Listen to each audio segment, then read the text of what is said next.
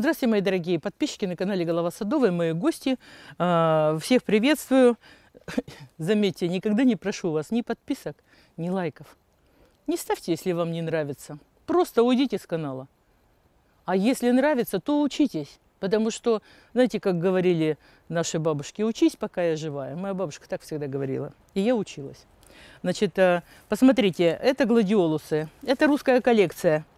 А, Они уже практически отцвели. А, И что нужно сделать с ними? Вот те, которые уже без цветов, все уже вырезано, да? Цветоносов нету. А вот это вот, вот оно все доцветает уже. Сегодня, например, да, когда выйдет сюжет, ну, будет где-то 20 сентября.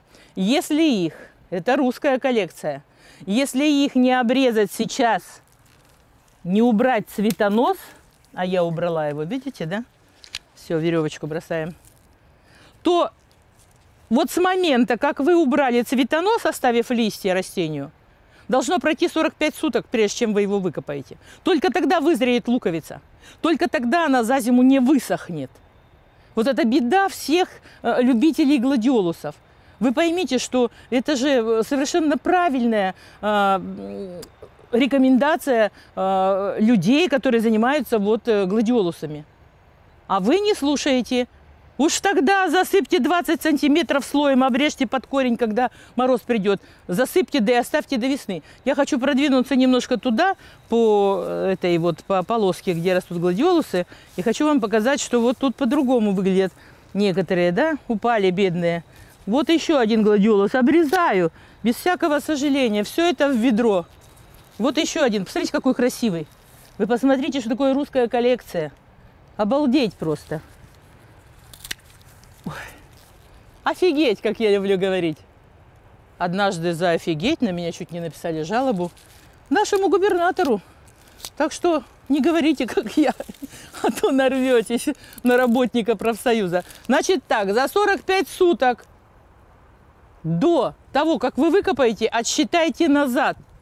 Но, покупая гладиолусы подобные, да, вы должны помнить, что чем выше написан рост гладиолуса, высота его, тем позднее он зацветет. Чем он ниже, тем быстрее он зацветет. И у вас будет возможность, чтобы у вас луковицы вызрели. Понимаете, к чему я клоню, да? Да, красота требует жертв. Значит, и нужно делать легкую выгонку для того, чтобы вот они были вот такими. И чтобы они расцвели во всей своей красе. А вообще тем, у кого только начинается вести гладиолусы, такие тоже есть. Это по метр восемьдесят растения. У них только метр цветонос. Это же это вообще реанимация просто. Так вы должны э, понимать, что такие высокие растения хороши тем, что достаточно, вот посмотрите, у этого цветка один только окрасился и открылся, вот второй только начал. В это время можно срезать гладиолусы совершенно спокойно. Абсолютно не бойтесь этого делать. Они все расцветут по всей его высоте. Единственное, что листья нельзя обрезать, то есть мы обрезаем коротко.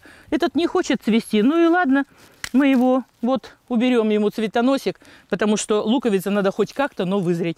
А, еще хочу сказать, что все, что вы срежете, вы можете в ведрах поставить по участку. Это будет очень красиво.